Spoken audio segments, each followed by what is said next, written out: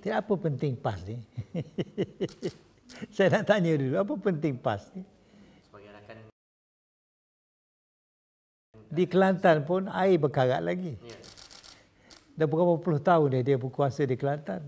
Dan sekarang ini kita dengar kabar kata nak ambil masa 30 tahun baru boleh menyelesaikan masalah air hmm. yang merah warna. Ya. Selama 30 tahun tu. Uh... Ya. Jadi nak, nak beri laluan kat dia apa lagi. Hmm. Dia dah berkuasa di Kelantan. Dia dia dah dah dapat kursi yang terbanyak di di Kelantan. Sebelum ini pun. Ha? Dia nak dunia. Apa makna kerjasama? Taklah itu tanya soalan saya. Apa makna kerjasama? Kalau dia seorang saja duduk situ, tak ada kerjasama. Dengan kerjasama muafakat nasional ni, yeah. Patut sama banyak. Patut yang yang kuat kekal AMNO yang kuat kekal PAS. Yang nampak uh, 70-30 AMNO bagi ke AMNO. Itulah patutnya. Dan kita kerjasama lah lepas daripada itu. Tengok siapa yang terpilih. Tidak. Laluan-laluan apa? Perlu tak UMNO pula yang diberi peluang untuk memerintah Kelantan? Bagaimana? Boleh tak, boleh saya berkata begitu? Ya Allah. Dia boleh kata begitu tetapi dia tak nak bagi pun ahli esko daripada ke UMNO masuk dalam esko dia sekarang.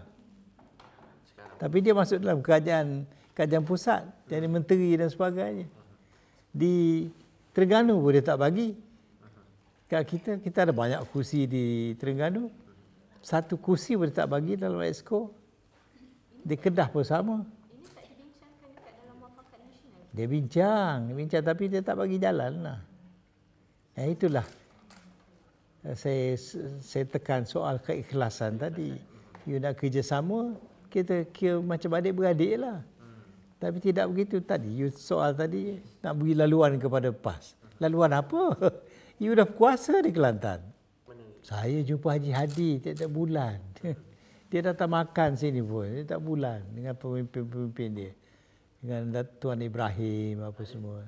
Tan Sri cuba untuk Ya. Tak tak negotiate lah. Tapi dia faham lah. Dia bukan budak-budak. Maksudnya ni sentimen orang bawah lah. Kalau untuk yang orang bawah nak kepada perpaduan.